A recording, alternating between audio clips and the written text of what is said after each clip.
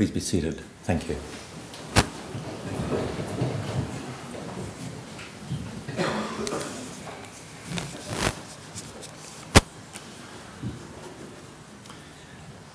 Good afternoon, everyone. My name is Michael McGoff, and on behalf of Rayma, Brenton, Murray, and all the members of Laurie's extended family, I would like to welcome you here this afternoon and thank you for coming to this celebration of Laurie's life and also to farewell him. Today we will acknowledge the many ways in which Laurie impacted on the lives of us all and also on the lives of those who are not able to be with us today. Following this part of the service, you're invited to remain here with the family in the chapel foyer and share some light refreshments and also share your memories and stories with each other and with the family. And just before we go into the formal part of the service, I'd like to play, we'd like to play for you one of Laurie's favourite pieces of music. And uh, we can just reflect on, on Laurie whilst we're listening to that. Thank you, William.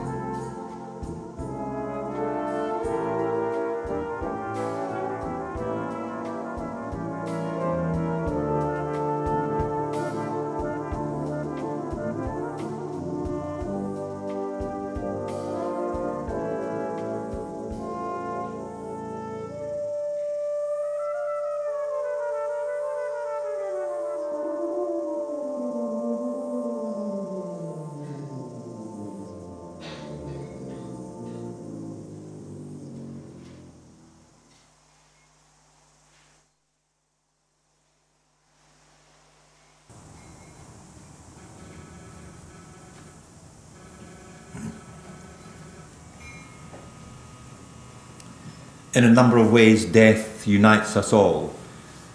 And Laurie's death, for a time, demands that each of us put aside our toil, our cares, our business, and our pleasure to unite ourselves with everyone here who shares in the common bond of love for Laurie.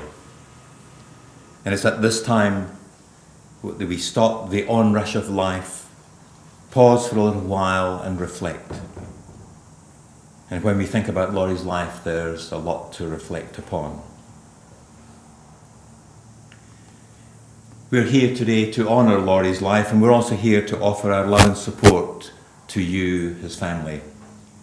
You've lost a much loved partner, father, and friend, and you will miss him dearly.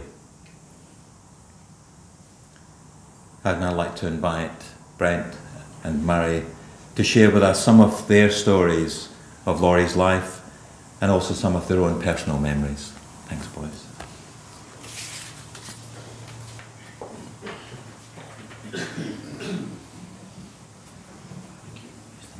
Yeah, okay.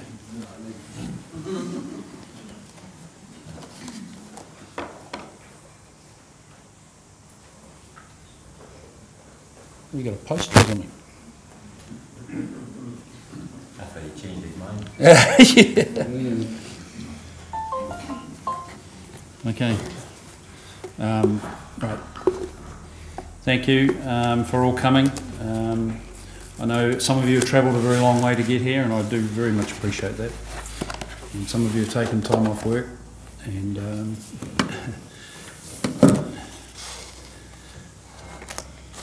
so Dad wouldn't have wanted you to upset your lives too much with his passing. Um, but at the same time, he would have been really chuffed that you're all here to help us celebrate it. Couple of memories I have. Um,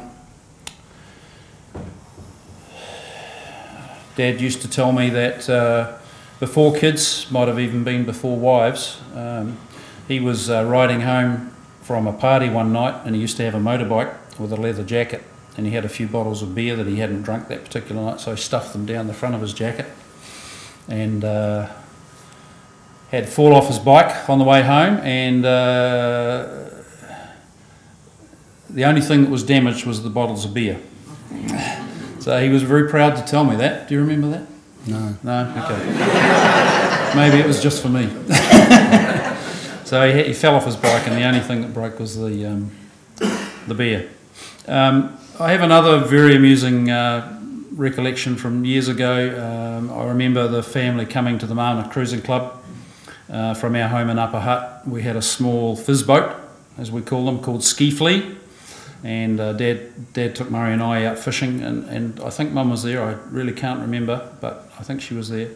And after a moderately successful day at fishing, we came back to the launching ramp on an incoming tide, and uh, to load the boat back onto the trailer, which was all very successful, until someone, uh, I'm pretty sure it would have been Murray, closed closed the boot of the car, trapping the keys inside the boot. And in those days, there was no central locking, there was no boot releases, there was no nothing. So we had this car sitting on the boat ramp with a boat and trailer behind it with an incoming tide. So it was all a bit stressful, and uh, we had to take the back seat. Unfortunately, the doors of the car were open, so we, we had the back seats open, uh, the back doors open, and the seats all taken out, and we were all sticking our hands through the firewall to try and grab these keys, and uh, that didn't happen. So what eventually happened was that uh, you, you can imagine this. There's, there's boats and cars all over the place trying to get their boats out of the water, and everybody was starting to get a little bit annoyed. So some kind soul strapped a uh, tow rope to the front of the car with the trailer on the back of it and dragged the car out of the uh, out of the slip. I think we must have had it neutral, which was probably pretty good. And then Dad had to had to hitch a ride back over to the Hutt Valley to get the spare set of car keys and come back over with Mum's car and rescue us all. Are we talking about the same father? Do you not remember that? you must have different ones. Okay, you can have a go. Go. Um, yeah, I want to thank the family and friends for coming today um, and the kind wishes sent to our family on Dad's passing. Um, and uh, just, just he struggled over the last few years with his failing health, and uh, a lot of people helped out. Um, and I'd like to thank the doctors and the nurses uh, for his care, and especially um, Lewis, who helped us out, and, and Rayma for her care, and uh, Gail and, and Brent, you helped us out tremendously. And um, and your support crew um, was there, was uh, Rayma and her family, especially um, Henry, and, and Brent's family with Vanessa, and my family, especially Gail. We all struggled to, uh, to help Dad. Um,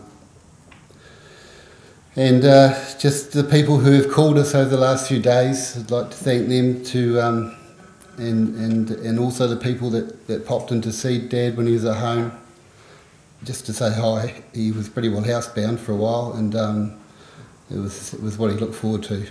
Thank you. Um, Dad was very organised, as you all know that he was. He was a good businessman and, and a good family man his final days he had he had pretty well sorted out, and he had his um, funeral uh, affairs in order, and Rayma and him had um, planned a lot of what went on today. We, me and Brent were just saying before, it would be nice if he had planned our speeches as well, but uh, he left that to us. um, yeah. Now, he, his last few days, um, he ended up at the Mary Potter Hospice. Um, we weren't expecting him to pass away, so it was quite a shock when he did um, start to fail in there, and basically his body just shut down, and um, and he slipped peacefully away. So that was great, um, and and I just hope that he's what well, I know that he's gone to join his friends and family in the afterlife. Um, now, the wee story I wanted to lead into was um, at, at, Mary Potter Hospice um, on his first full day.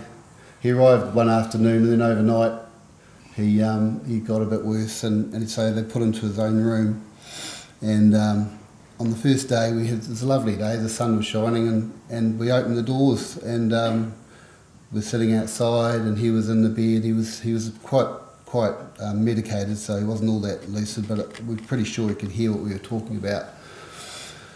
And uh, he would he would look at us every now and then and squeeze our hands and things like that. But uh, the, a, a, butterfly flew into the room and went straight up into the into the skylight area, and um, yeah, we all saw it. And um, I think uh, I think Lewis, you tried to shoo it away for a little bit there, but it wouldn't go so it stayed, and then uh, and then when he when the next day when he was starting to slide away, and, and me and Gail were fortunately there when he went. Um, we noticed the butterfly drop and fly out the door.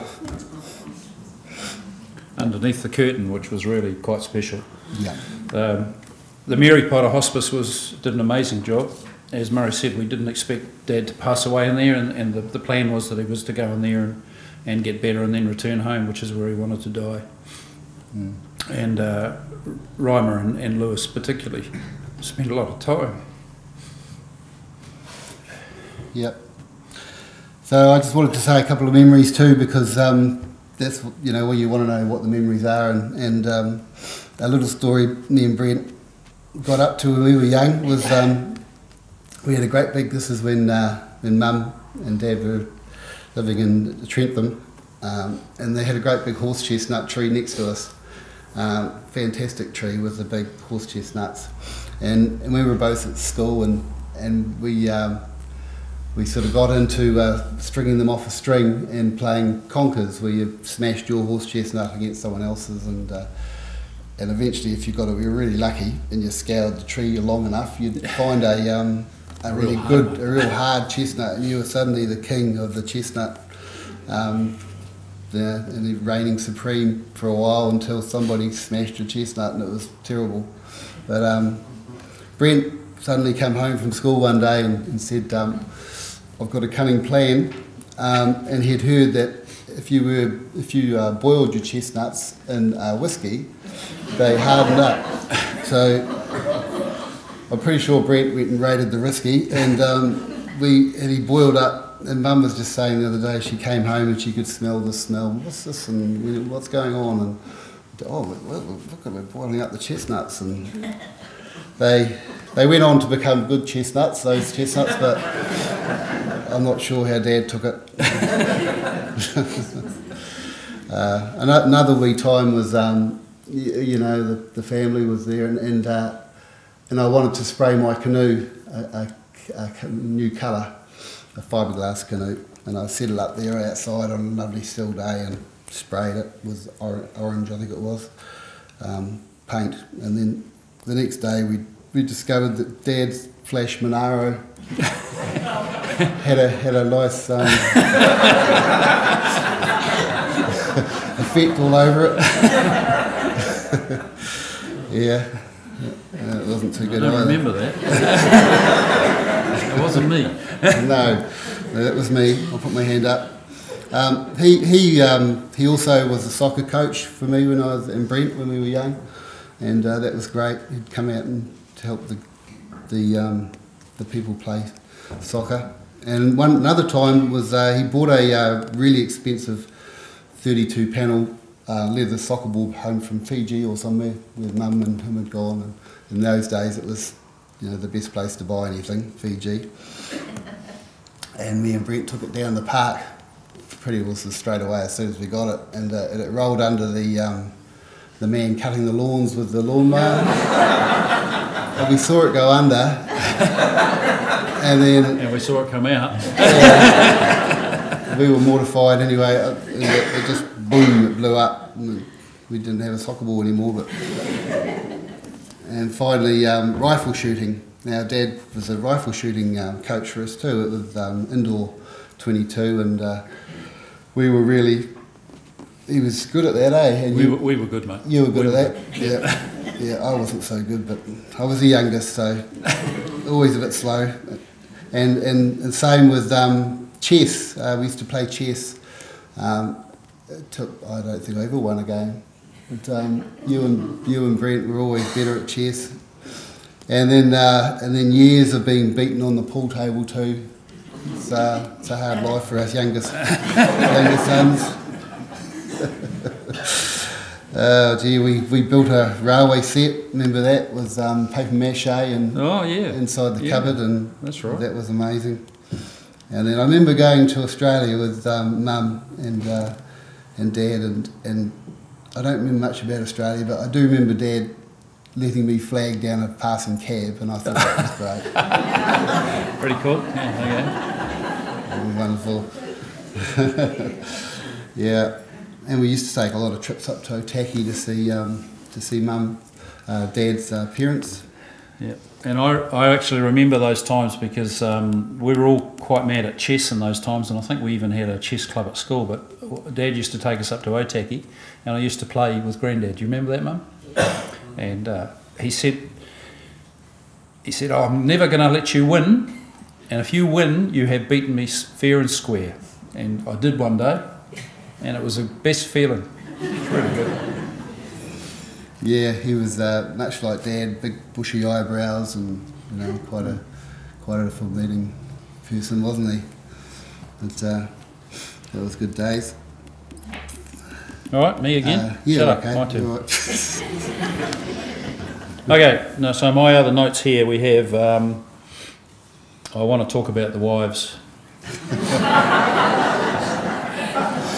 now, I've, I've headed up my uh, little paragraph here. Dad was always a charmer. I'm sure you'll all agree. So, wife number one, Faye, our mother, was a wonderful wife and mother. Together, she raised us boys, and look how well we've turned out.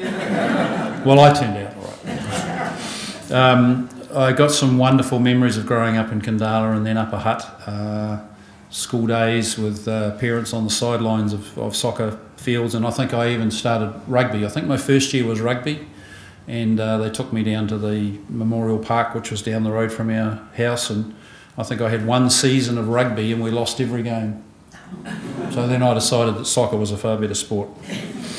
But uh, mum and dad were always there, and as Murray said, rifle shooting. Dad spent many, many evenings coaching us with um, rifle shooting. Right, wife number two, Sally. Sally arrived on the scene when I was in my early 20s uh, and I was off conquering the world, Napier, Hamilton, and Auckland. so I didn't spend much time with Sally and Carl. Um, Dad and Sally had some wonderful times together, uh, and when we were going through the photos last night, it was very evident that they had a, a wonderful time together. They uh, did a lot of travelling through Europe, and um, uh, Dad and Sally actually spent some time on a, on a little remote island in Scotland called Fetlar, which um, only had one telephone line. I remember Dad telling me that, and um, I think it was bitterly cold. And uh, they spent some time there with their relatives and got to know them pretty well. And uh, Dad had some fond mem- memories of that and actually has a lot of photos of that time. Um, wife number three, Rayma. Rayma's uh, spent nearly the last decade with Dad. Um, and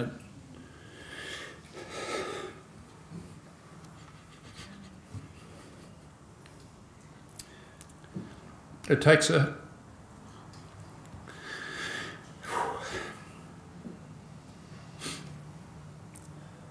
takes a very special lady to capture Dad's heart, especially when he was at an age where he was very set in his ways and uh, not as mobile as he was as a young man.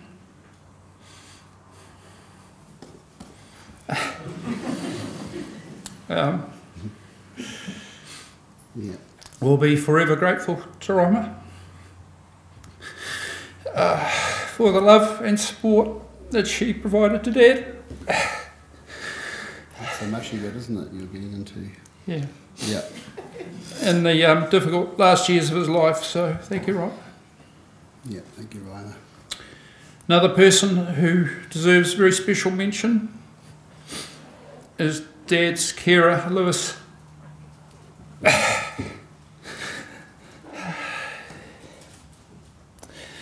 Uh, Lewis has been providing nursing care for Dad at home for the last six months or so. This has enabled Dad to stay at home uh, rather than going to a nursing home or a retirement village, which he would have really hated. Uh, together, Rayma and Lewis cared for Dad right up to his last days. Lewis was telling me uh, that his family has a very long history of domestic service to royal families of China. And over the centuries, the Yip name has been associated with the emperors, and, and now Yip, the Yip family name can also be associated with the Coutts name. That would have amused Dad immensely. Thank you, Lewis. Yeah. Okay. Um, yeah. I'd, uh, gee, where do I start? You've cut out most of my speech now. Oh, come on, then. Um, yeah. All right, well, um, I'll carry on then. Uh, Dad built up a very successful business uh, with his partner Ian Jones, and Ian and Shirley are here today. Thank you for coming, guys. And uh, we've had some very good um, professional support with uh, lawyers and solicitors and accountants, and they're both here today. Thank you for coming, guys. Um, there's so many other people who touched Dad's lives. Many of you are here today. Um, I'm sure that you'll all have your own memories of Dad. Um, it seems to me that looking through the photographs, that um, Dad really enjoyed his time with the cruising club and the boating activities that he did in the Marlborough Sounds. And a lot of the pictures that you see down here on the coffin uh, with Dad in casual attire with a drink in his hand, uh, sometimes at a party. And, and there's a picture out on the on the uh, montage out the front there with him all dressed up like a hippie. That was probably one of the fancy dress parties that they had at home Mm. because Pukerua Bay was a very special place that uh, Murray and I both grew up at. Um, so a lot of the neighbours are here today. So thank you for coming. Mm. Dad loved Pukerua Bay. Yep. And most recently Plimmerton. Yep. And he was fortunate to have uh, some very close friends in those two communities. Have I done some more of your speech? No, that's right. I'll probably go over the same things, but yeah, I, I wanted to talk about the different families too.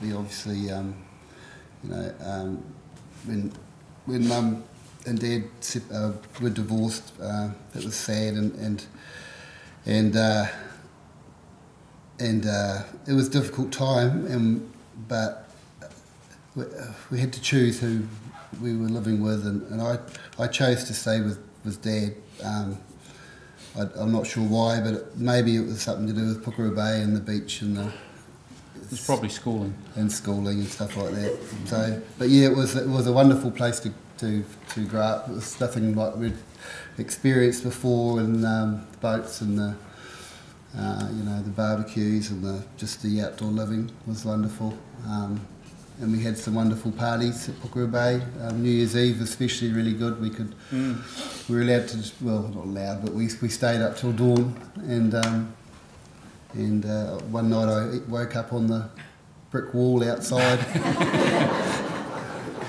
Still in one piece of it. and uh, yes, we had to, and uh, just, you know, with, with Sally um, and Carl, gee, it was, you know, Carl was like a second brother to me, and um, he's, he's just a great asset to our lives. And Sally, too, you're, you're like a second mum to me much loved. Uh, yeah, boating experiences. We, you know, Dad got into boating and uh, out of ski flea and into into the launches, and it was a whole different kettle of fish. And we were meeting meeting people with other launches, and we were going to the sounds. And um, I just I just remember the, the, the comradeship of, of of the people we meet met and uh, talking and the parties we had they were terrific. The excitement of fishing, you know, catching or, or missing the fish, and it's just amazing. Um, you There's, know, a, we, there's a photograph on the board of a big um, crayfish that, Oh, dad, yeah. that dad caught. You no, Dad didn't catch. Oh, well. he just claimed it. That's what he told me.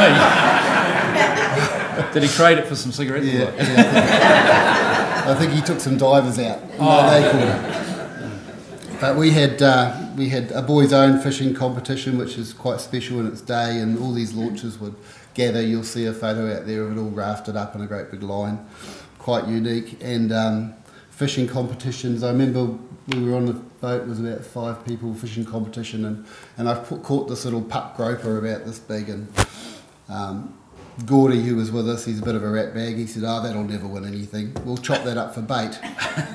and then, of course, we get back and hello, there's no groper being caught. and my little face. But the, on the other hand, we did win a very good prize once, and we were, we were amazed. We won the three. I don't know, something like the three, the, the group of three cod or something. And it was they were just little fish, but we ended up winning a whole dozen of, um, of um, Appleton's rum. And Well, we, we just stole it, eh? We were just walking down the, the aisle and everyone's, what the hell? And, but it was amazing. It was a good day. Um, but we had a few exciting things, um, harrowing crossings of Cook Strait, you know, with the boats doing this and uh, everyone screaming. no, no. Yeah, that was, that were, they were good days. Um, I was Um, just talking about that, Murray. yeah. I, I vividly remember one day going across in Corinna, which was our Sterling uh, displacement launch, only did about eight knots, and um, Dad must have had some friends out the back, and he was out the back having a whiskey and a cigar, and I was driving this bloody boat. And it was very early on for me, and boating was pretty scary. And we had Cook Strait can get pretty nasty, and we had sort of like 30 or 40 foot waves, or I remember them that big anyway. And they were coming at me from every direction, and bloody dad's out the back having a smoke. You'll be right, son. Keep on going. Just keep going. I was like, where am I going? I can't even see anything except water. It was quite frightening. how do you think I feel? Yeah, yeah. So, yeah, um, uh, yes, and uh, you know, just just growing up through the, you know, it goes back so far, Dad. Eh? It's just incredible when you think about how how long, you know, how old we are, and then he was another thirty years older. So, but yeah, you know, the first first home helped us into our first home, and. Um, yeah, babies and things like that came along, and he was, you know, there to help us and just show him off. And um, advice on different matters, um, financial and you know also personal, I suppose. Um, he had he had built another house down in Pukerua Bay. Um, you know, added, added I think he's I think he added on to the first one he had. And um, I remember the re-roofing and putting batts up in the ceiling, and he had us doing all that.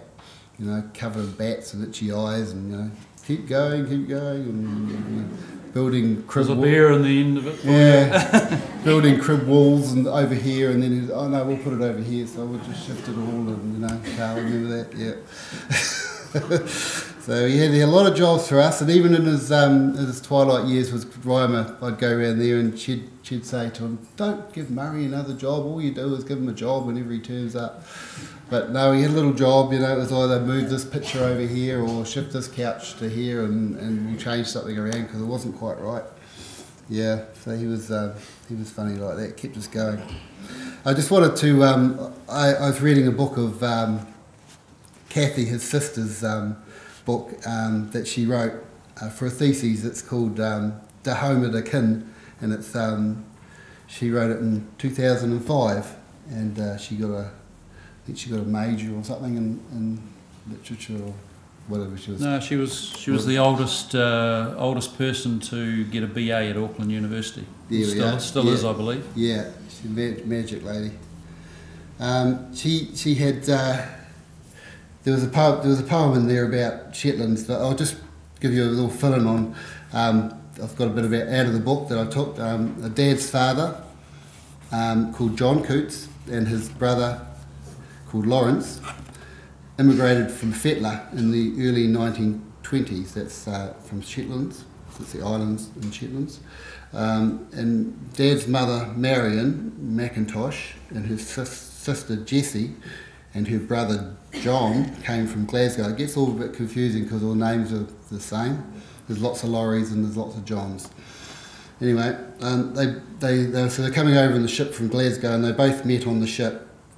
And the two Coutts brothers, um, John and Lawrence, ended up marrying the two McIntosh sisters. Right, so um, Cheaper weddings. yeah. So yeah, Scottish. so the uh, the poem I wrote, um, which was uh, uh, in, in the book, was um, goes. It was actually written two verses. One was in Scottish and one was in English. So I've chosen the easier English one. I could I could have got the piper to come up here and do it. He probably would have known. He's a Kiwi. Uh, yeah. Okay, here we go. Sometimes I think when the Lord made the earth and he got it all put together, found he still had a handful of clippings left over, trimmed off this place or the other. And he had not the heart to throw them away, for they looked so bonny and rare. So he fashioned the isles from the ends of the earth and made everyone feel at home there and that's by Rhoda Butler. Yeah, and um, and I wrote a little poem too. This is by Murray Coutts. uh, happy trails, Dad. May your spirit fly and soar way above this world to a better place, and may may we meet there again one day. And that's the end of my. Thank you. And I've written all that in the poster and I've, and I've put Oh, Laurie's, Laurie's headlines. You saw it all. Thank you. Thanks, Molly.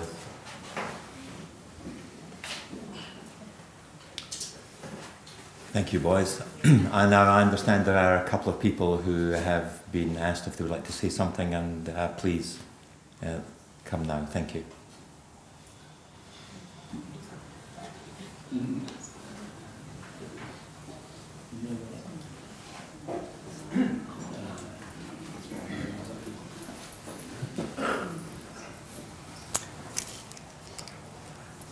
Well, uh, thanks for the opportunity. Um, I'm uh, Mike McDermott and I live next door to uh, Laurie for 29 years now.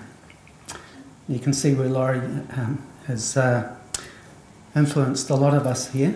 Um, So I'd just like to tell you a little bit about what it's been like living uh, next door to Laurie and some of the stories that uh, um, Brent and Murray don't know about.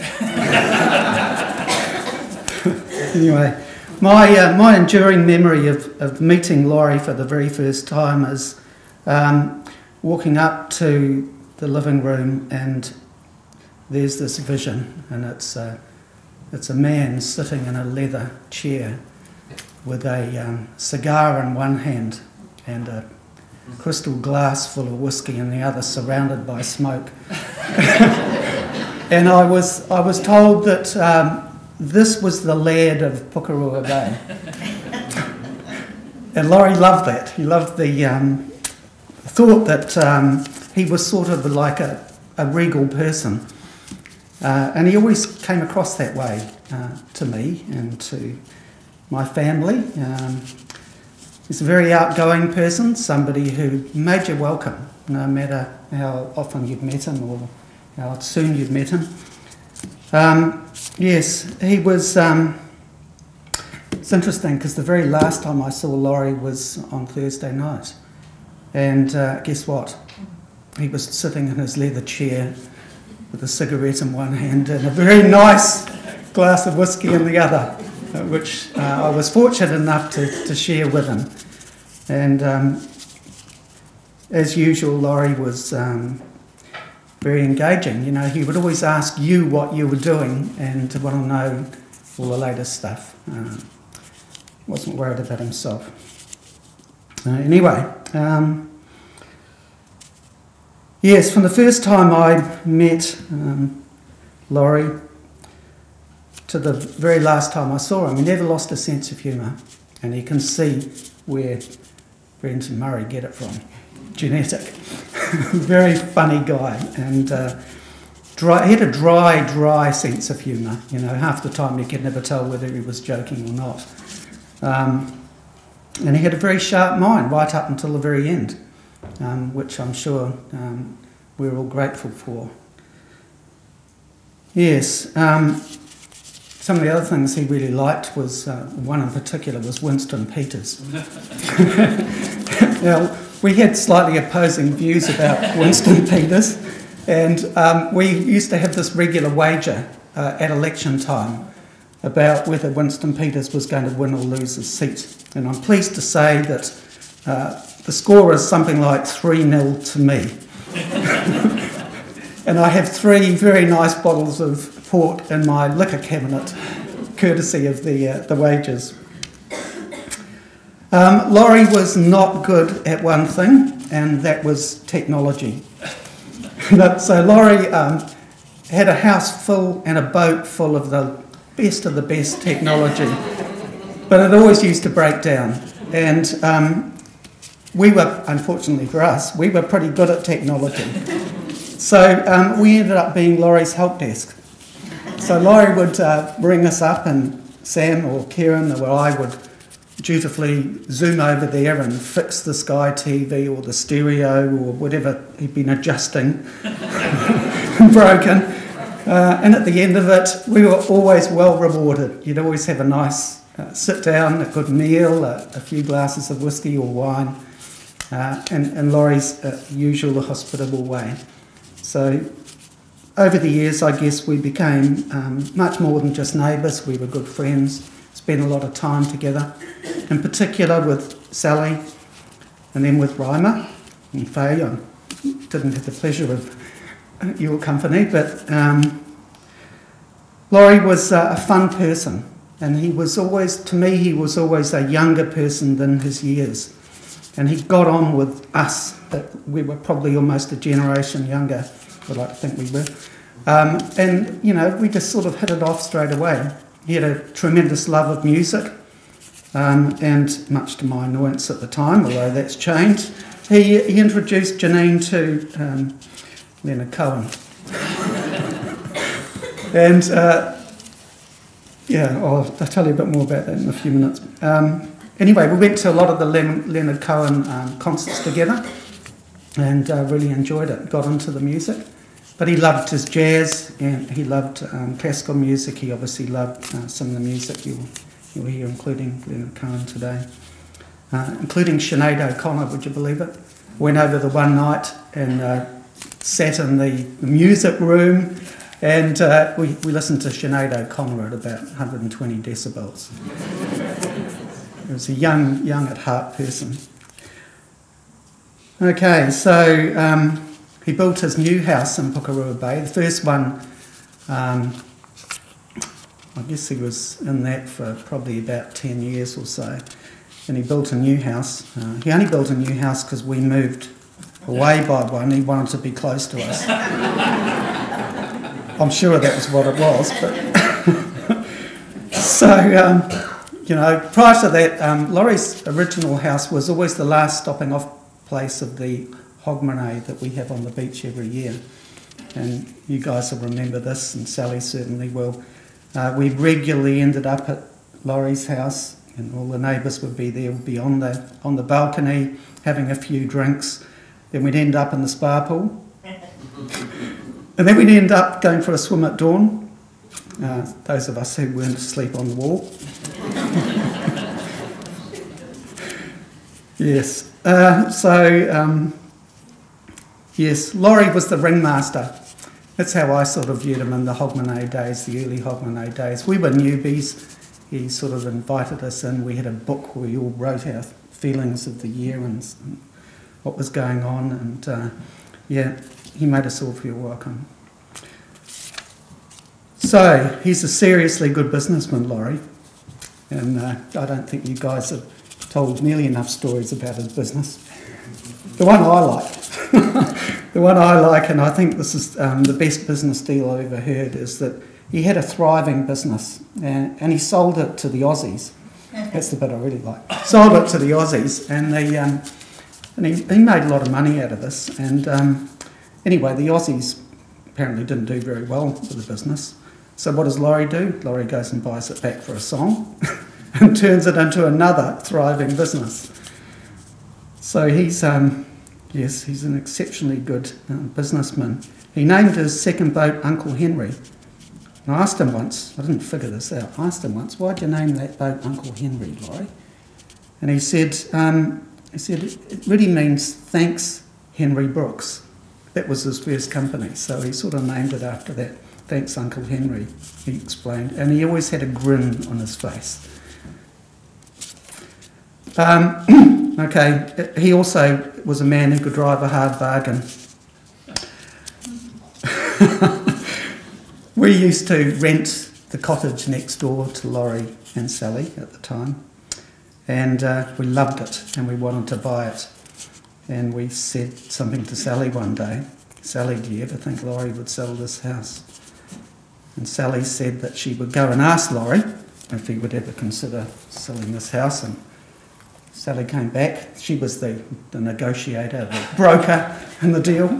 And um, she said, uh, Laurie says, um, make me an offer I can't refuse. I thought, okay, well, that's cool. So we made him an offer, and he refused it. and we made him a second offer, and he refused that too. this went on for a while until finally we settled on a price. And from that moment onwards, Laurie was coming up for a whiskey, and we've been best of friends ever since. So thank you, Sally. Yeah, great opportunity for us. And um, yes, so um, yeah, both of Laurie's sons, Brent and Murray, have followed in his footsteps. I'm sure they're both equally astute at business. Uh, Laurie was immensely proud. He was immensely proud of you two boys. I'm not sure how often he told you that, because he was a little, a little reticent in terms of saying nice things about his boys, but he was very, very proud of you and loved you. So Laurie's been a, a very big part of our Ocean Parade folklore, and um, you know we're going to miss him a lot and uh, remember him. And um, I remember him grinning. That's the you get that boyish. Both of you guys have got it. Murray, I think you've got it worse. you know, whatever bad things they do, these guys, they grin and you forgive them. so anyway, um, yes, Rayma, yeah, wonderful what you did for Laurie over those last, um, you know, few years. I know how easy he was to live with.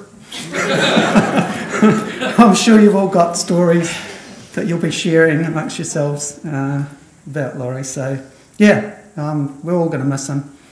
A tremendous person and a great friend to us and, and a neighbour. So, yeah, thank you.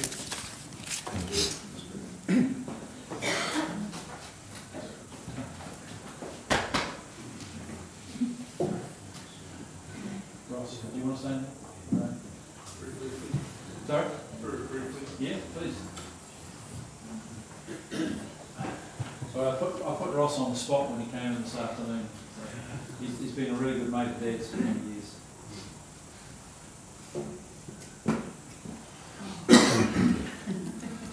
Hope you can all hear me okay. Um, Laurie, what can I say? He's been um, my mentor, a great friend, and um, also we've had so much fun together. It's not funny, really. Um, I know you all probably um, don't want to hear a long speech, so I'll keep it pretty uh, brief. Um, obviously um, everybody's touched on his whiskey drinking habits, and um, I've been party to them, unfortunately, or probably fortunately. Um, yeah, and luckily on Thursday we had our last couple of whiskies together, um, and that was great. And as the last speaker said, he never lost his sense of humour, um, and he always asked how you're getting on, and um, he gave my uh, wife Jackie, um, uh, as, as he always did, a bit of a hard time in a great way. Um, and we really enjoyed that night. There's so many things that um, I could go on about, but I did build his house in Pukerua Bay. And um, I said to Laurie, I don't really want to build this because you're a mate of mine, I don't want to fall out with you. And um, he says, Well, we have to have some rules. I said, Okay, I'll make the rules. and the rule was, I said, Laurie, if we have a bit of a discussion about something and it gets a bit out of hand, I'll call whiskey. So that was the rules, and I don't know if he ever mentioned it to the boys. So, anyways, it was a very difficult build. The bank come down and all sorts of things. We ended up pretty good. And Laurie and I, throughout the whole process, we drank a lot of whiskey, but it wasn't because we called whiskey. so he was fantastic, uh, professional man. Um, as I say, he's mentored me. He's given me advice, um, and his friendship's just been um, really. I really uh, value it, you know, and I value um, meeting all the family and friends.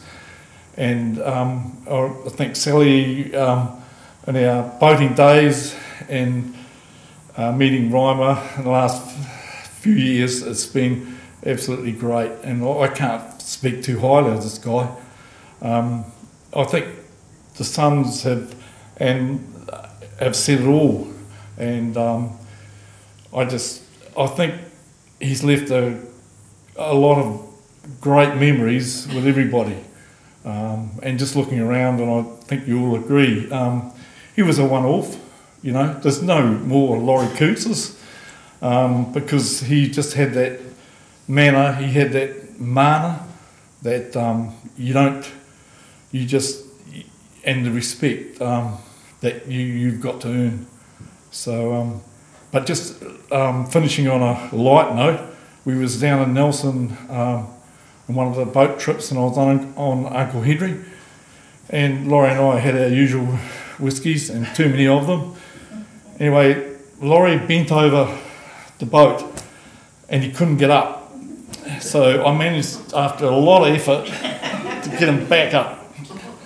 And um, so anyway, um, that was great, and we got a prize for it. At the so um, yeah, yeah, yeah. So the boating days, especially, have been been great. Um, sharing them with Laurie, and the odd time he's got him and Sally got tangled up on a mooring rope, so I had to go and dive down and free it. Um, but um, I just can't speak too highly of the guy, and and I'll miss him heaps. Thanks very much. Thank you.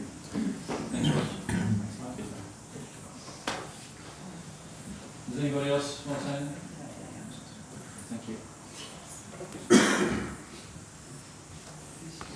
Thanks, guys. I still can't believe that you destroyed whiskey with, bloody, with, with chestnuts. Good chestnuts? When I went and met Laurie last year and, and Rayma um, to organise his funeral service, um, and he was certainly very on to that, and I would recommend it to anybody. You know, organise it now. Um, but we talked about music, and when he mentioned colliery bands, I thought, yeah, fantastic, because that's where I come from, a very small colliery town. So we had lots of brass band music. Um, but then he came to the next one, which we're about to listen to. And I tried to convince him that K.D. Lang was definitely the best version of this song.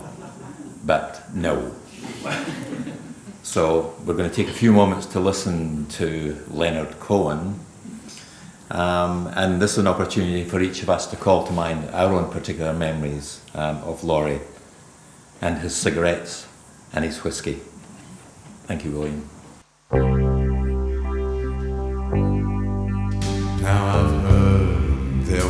a secret chord that David played and it pleased the Lord.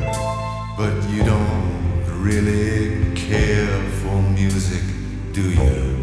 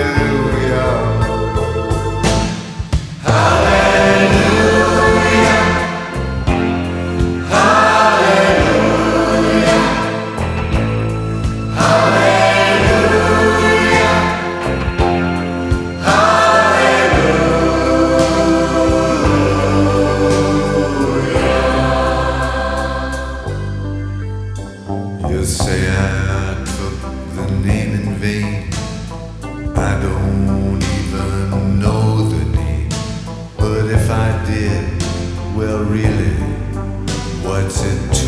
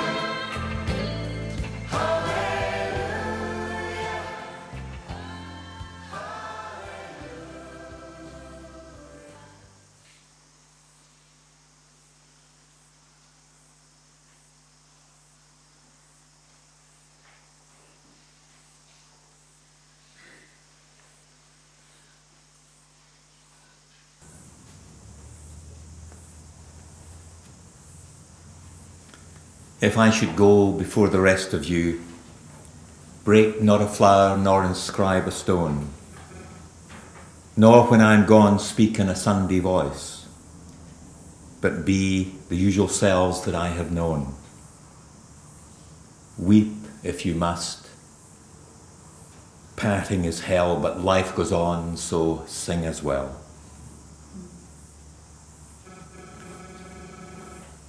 When we are weary and in need of strength, and when we are lost and sick at heart, we remember Him.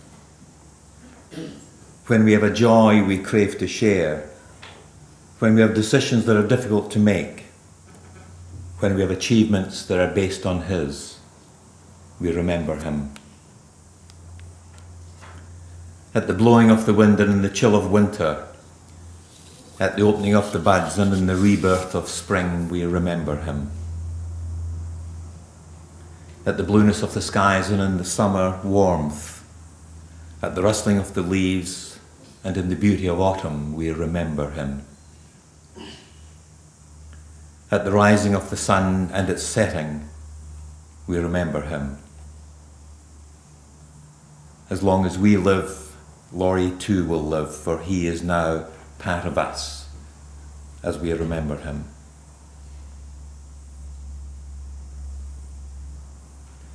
We find sadness in saying this farewell, but we also find comfort, richness, and example in our memories, and we find support and strength in our love for one another. So we believe that despite our sadness, we shall find peace in our hearts. We are nearing the end of the service, but before Laurie takes his final journey, would you please stand?